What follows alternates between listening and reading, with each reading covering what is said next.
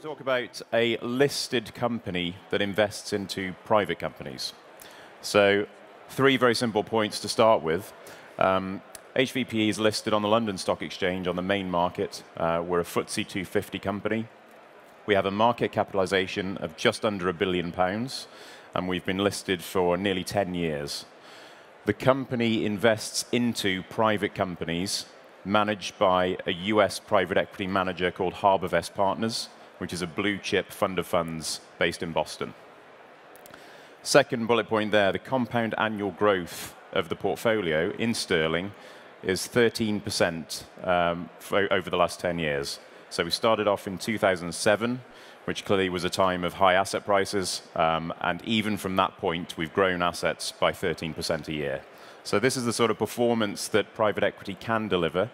Uh, it's a very diversified portfolio, um, more than 7,000 companies underlying the, the uh, investment, uh, and it's diversified across venture capital, buyouts, and it's diversified by geography as well. So you have a full range of investments in one, one share. The shares trade, as I say, on the London market, so it's secondary trading only. We're not issuing capital. Um, so if you buy a share, somebody else has to sell. The um, share price at the moment is £12.40, and the asset value per, share is you know, nearly £15. So you're talking about a 15% discount on the assets at the moment.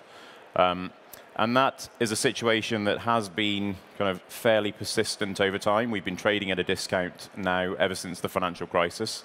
It's been narrowing steadily, but 15% is still a wide discount given the returns we've actually generated and the low volatility of those returns.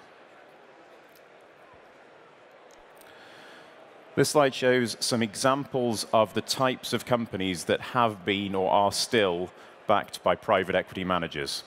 You can see very, very famous names. On the left-hand side, we, we focus on the companies that were backed at the very early stage, so seed venture. This can be um, before the company has significant revenue. That's a small proportion of our activity, but we still do invest in that area.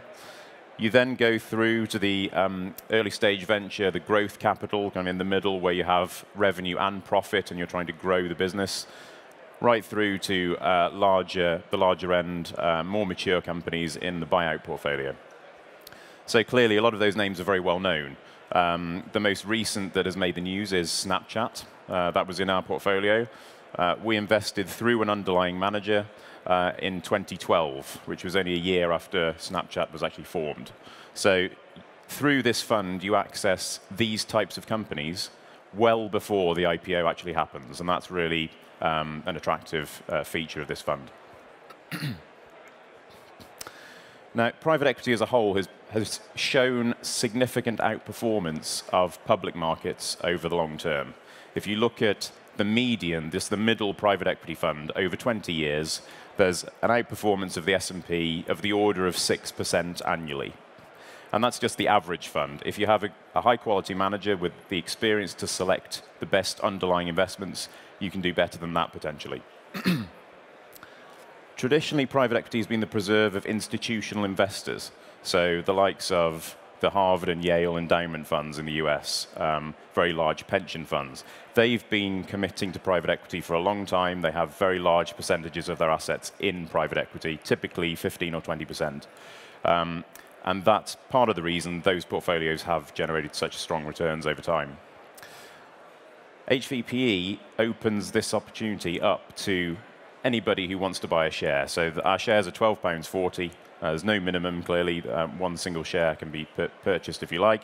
Um, we have institutional shareholders as well. So our largest shareholder has nearly 14% of the company. but we have a very diversified shareholder base, including wealth managers increasingly. So the likes of um, Brewin Dolphin and so on will, will, will be in the stock um, and also individual investors. We're, we're attracting more and more um, people such as yourselves who are looking to, to make their own direct investment into private equity. A little bit about the manager. HarbourVest is a global private equity fund of funds provider. So um, formed 35 years ago in Boston. We now have nine offices. We're investing across the world. So HVPE's portfolio is split about 60% US, 20% Europe, and the remainder in Asia and emerging markets.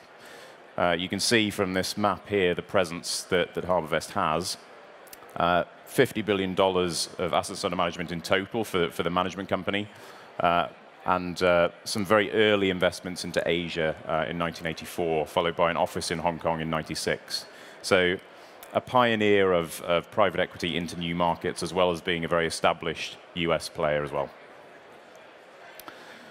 Now, I mean, this is really my final slide. I've kept this presentation short. Um, further information can be found uh, on our stand number 76, just up on the uh, mezzanine level.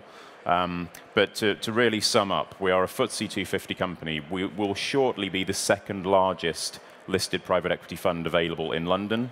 Um, there is a story behind that which I can explain. Uh, nearly a billion pound market cap, very strong liquidity. We typically see half a million pounds of shares traded per day, so uh, more than enough to manage a position. Um, and we're run by a manager with a 35-year track record um, who's delivered consistent returns throughout that period. Um, so with that, uh, I'll take any questions um, if anyone has any.